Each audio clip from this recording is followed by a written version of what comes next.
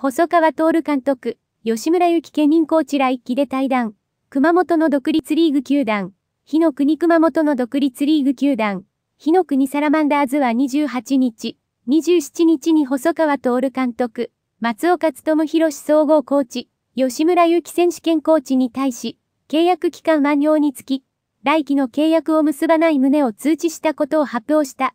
細川監督は、昨期限りで現役引退し、今季は初代監督としてチームを牽引。